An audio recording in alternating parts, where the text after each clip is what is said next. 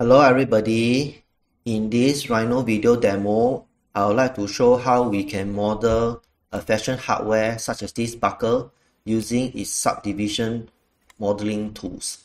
Okay, let's start.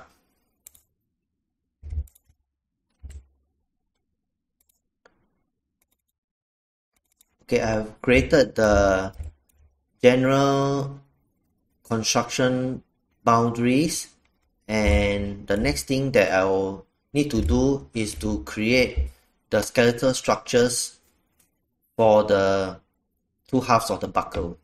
And I reckon that the first thing that I will want to do is to create the arc over here using the start end and radius uh, mode arc okay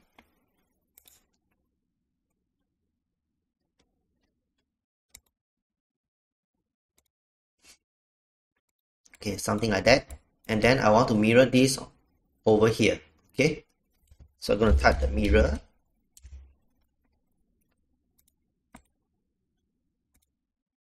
And mirror it over here okay? And the next thing I want to do is to draw two lines to connect these two arcs okay? Okay I got to make sure that the object snap the end snap is turned on okay now I would like to join all these curves and then make a duplicate and place it over here. Okay so pressing and holding the alt key I'm making a duplicate okay and placing it over here. And this duplicate will form the basis for the other half of the buckle.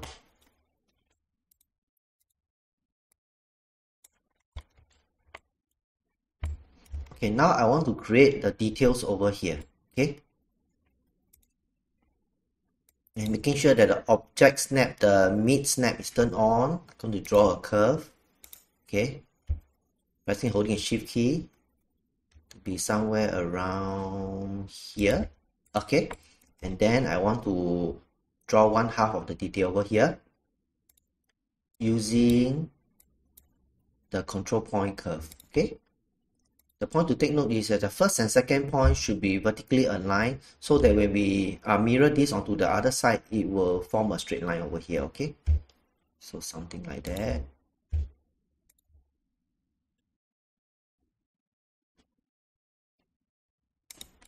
Something like that. Let's mirror this onto the other half.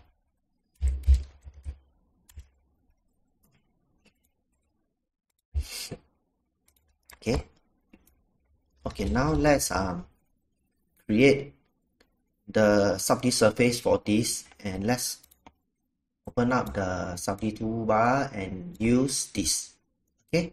The multi-pipe okay?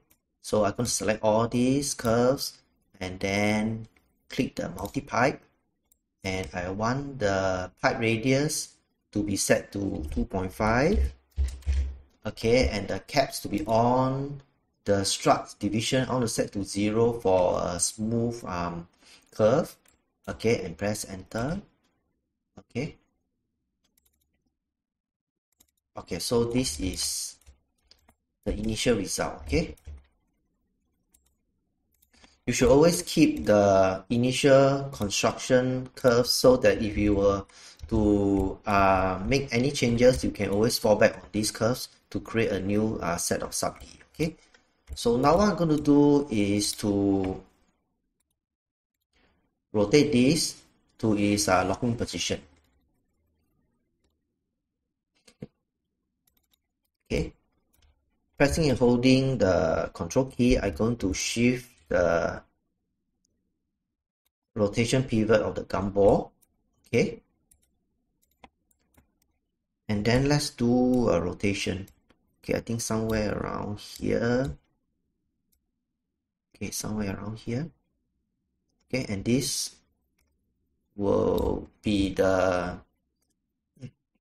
the ro rotation um, locking position okay?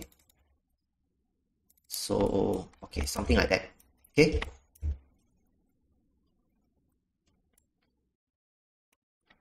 Now uh, I would like to create the details over here for the other half and what I'm going to do is to draw a line and project it onto this uh, sub D surface. Okay. Draw a line somewhere around here. Let's do a projection. Let's project this onto this. Okay. So I get like this uh, section over here. Okay, and as you can see, there's lots of control points. So let's um rebuild this. Okay,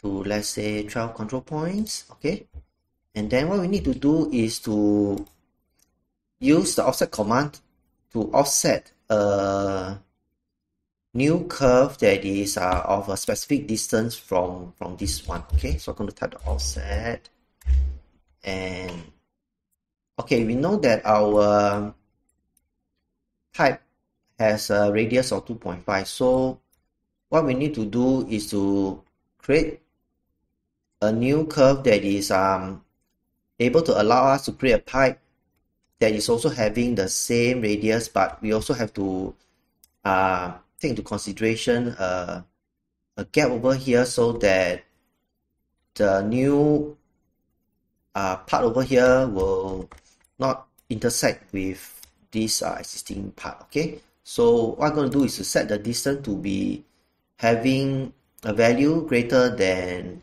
2.5 okay so let's uh, have it as 2.8 okay? And then click on this. And click okay? Something like that. I think I might want to rebuild this again. Okay to have uh, lesser control points okay okay now what I want to do is to move this over here.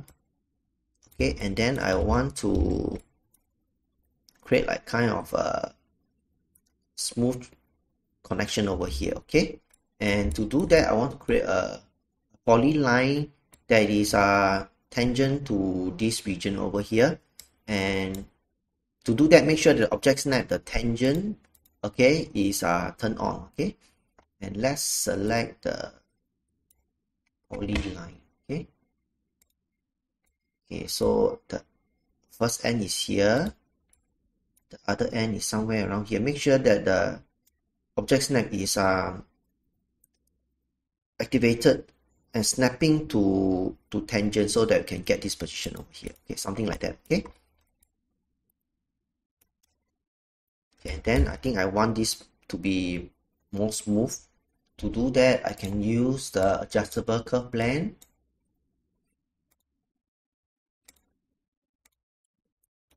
Okay let's do a bit of adjustments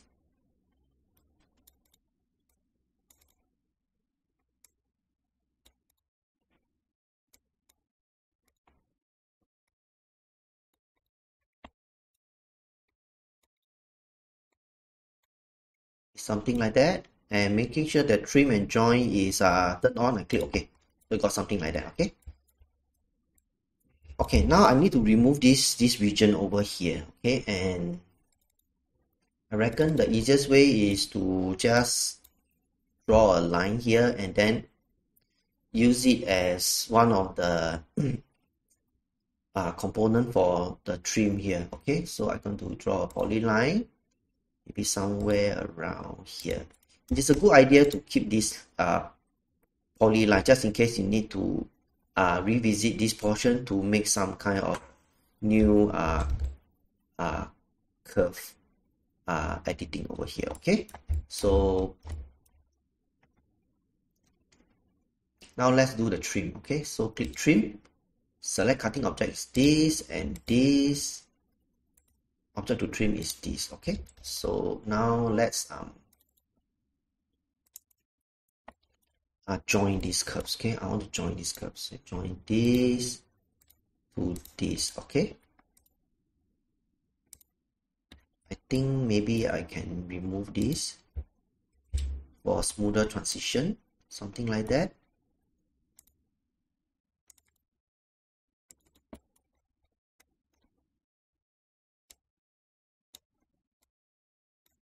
maybe this as well okay?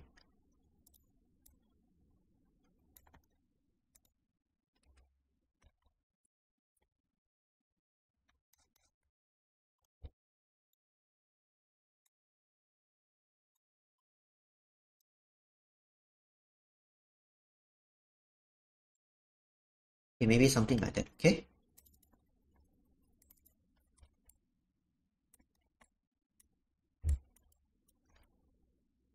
Okay let's um trim off this this uh region over here. So I'm going to go to trim command.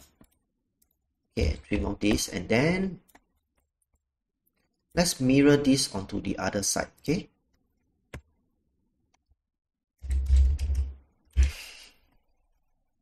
Okay I'm going to turn on the mid okay? So the start of the mirror plane is this mid and pressing holding the shift key for temporary ortho. Okay I get this other half okay now let's uh, try to create this curve over here. And we can use the adjustable curve blend click here and click here. Okay and set maybe the 1 and 2 to both curvature. And pressing and holding the shift key we want to do a symmetrical adjustment. Press and hold the shift key and adjust the control points. Okay maybe something like that will do. Okay click ok.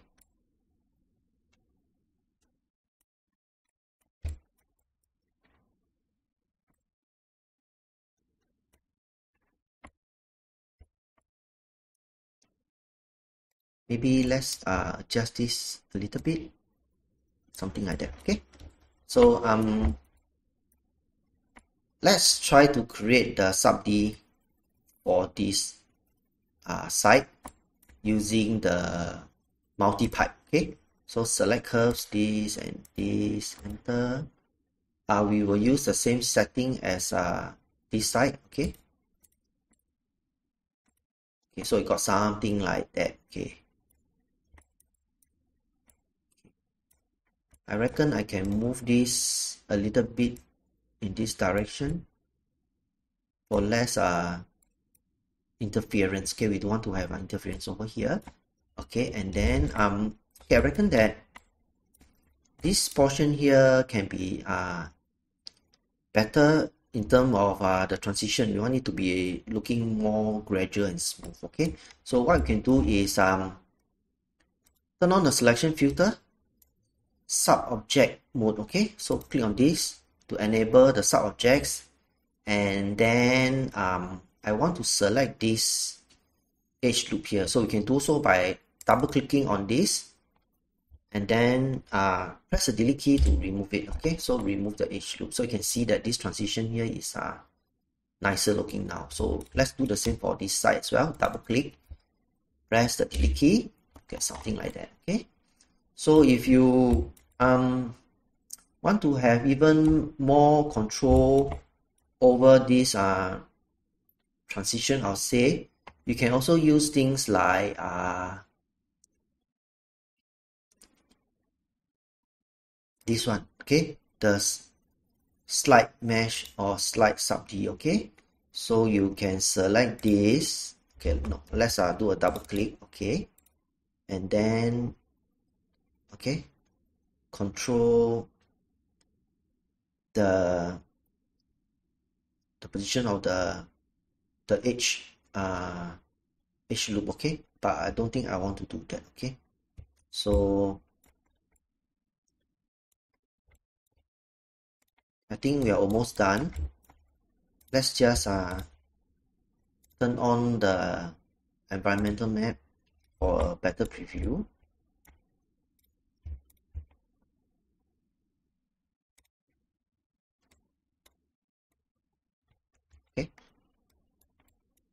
so you got something like that okay? And once you're done with your editing we can type the to NURBS to convert the result turn sub D to NURBS format okay? So typing to NURBS select okay let's uh deactivate the subjects okay? Select your sub D objects and press enter okay I want to delete input okay yes okay and then yep we got our result okay okay Okay, with that, I come to the end of this uh, demonstration. Hope that's been useful to you. See you. Bye.